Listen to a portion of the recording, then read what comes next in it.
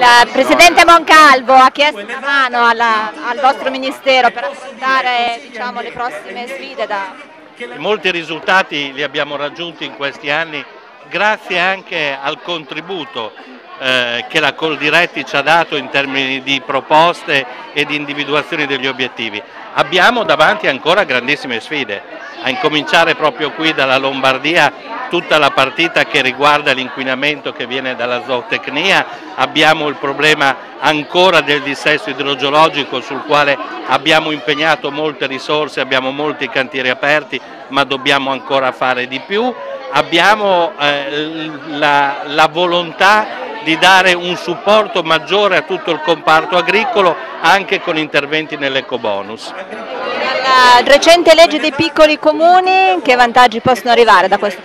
Molti, eh, il Presidente Moncalvo prima ha detto una cosa molto vera, per l'ambiente l'agricoltura è indispensabile, noi abbiamo bisogno che i piccoli comuni continuino a vivere perché intorno ai piccoli comuni si sviluppa un'attività agricola che è quella che mantiene il territorio. Non esiste un buon ambiente senza una buona agricoltura e non esiste una buona agricoltura senza un buon ambiente. La legge sui piccoli comuni permette di mantenere vivi questi comuni che sono anche poi quelli intorno ai quali si sviluppa l'agricoltura. Ha parlato di risorse e quante ne arriveranno prossimamente per questo? Ma noi oggi risorse in campo ambientale ne abbiamo tantissime, penso ai, ai 3 miliardi che abbiamo sul dissesto idrogeologico, ai 2 miliardi che abbiamo sulle depurazioni, non è più un problema di risorse, credetemi, eh, oggi è un problema di spendere bene e in fretta le risorse che ci sono. Prima domanda, visto che siamo in Lombardia, qui oggi si discute della proposta di legge di utilizzare le cave eh, dismesse per far fronte al problema della siccità, una sua, una sua opinione?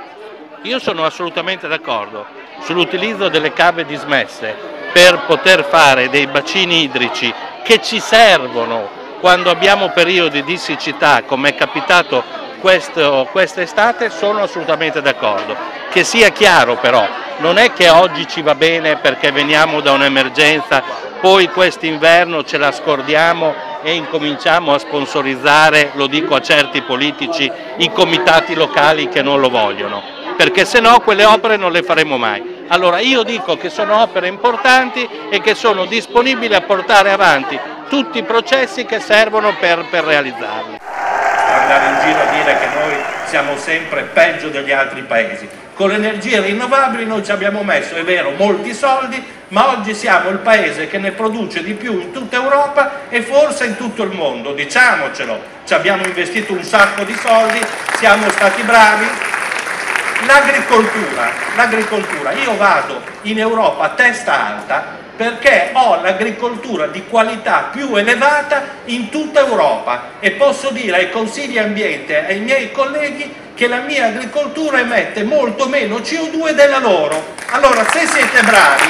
diciamocelo, basta andare sempre in giro a dire che non abbiamo fatto, abbiamo mille problemi, ma diciamoci anche quello che abbiamo fatto. Abbiamo delle eccellenze in questo campo, dobbiamo continuare, certo. Tutto, tutte le strategie che eh, il Paese, che il governo sta facendo, mettono al centro proprio i cambiamenti climatici. Se tu Weber vai a vedere la SEN, la strategia energetica nazionale, una volta veniva fatta sulla competitività delle imprese, giusto? Oggi viene fatta sulla riduzione di CO2 al primo punto vedi riduzione di CO2, perché quello è per noi l'elemento fondamentale, l'elemento primo.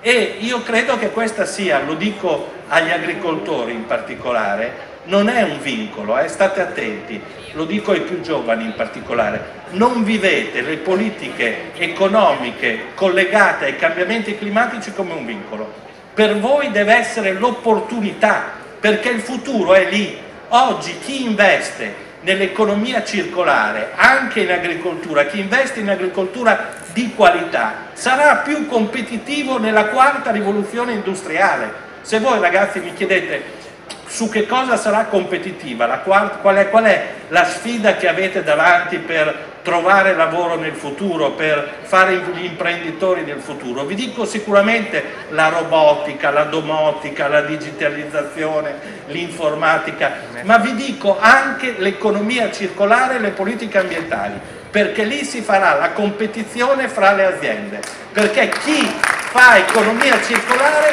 sarà capace di avere una redditività migliore degli altri e avrete anche la soddisfazione di dire sto facendo qualcosa non solo per la mia impresa ma lo faccio anche per gli altri che poi è il simbolo della cultura della, della Coldiretti. Quindi io credo che questa sia una grandissima opportunità. E poi abbiamo un altro filone, Werner, che è quello di adattare il nostro territorio. Allora è chiaro che noi quest'inverno, quest'estate abbiamo avuto la siccità molto forte, abbiamo reagito abbastanza bene e qui mi voglio prendere un po' di merito, eh, scusa, perché noi abbiamo reagito abbastanza bene, soffrendo in certe zone, perché era un anno che ci preparavamo, perché esistevano degli osservatori che abbiamo costituito otto mesi fa, che hanno permesso di gestire bene fino all'ultima goccia. Abbiamo preso tutti coloro che avevano competenze sulla gestione dell'acqua e una volta alla settimana, da 6-8 mesi, si sono incontrati per vedere quanto dare all'agricoltura, quanto dare agli usi civili, quanto dare alle zone che avevano più bisogno e questo ci ha permesso non di passare un'estate tranquilla, ma di limitare, di limitare i danni.